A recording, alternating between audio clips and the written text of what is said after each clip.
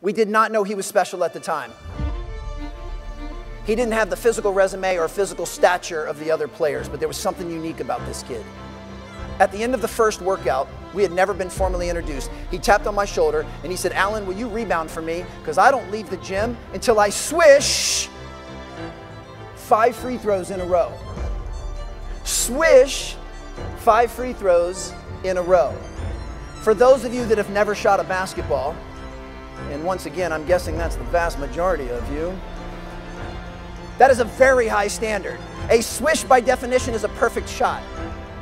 It doesn't touch the rim, it doesn't touch the backboard. It gets the name from the sound it makes by going nothing but net. And this young man was not going to leave the gym until he swished five in a row, which means he could have swished four in a row, still made the fifth one, but if it hit a little bit of the rim, he would still be mathematically perfect. He would still be five for five, but that wasn't good enough for him. He'd start over.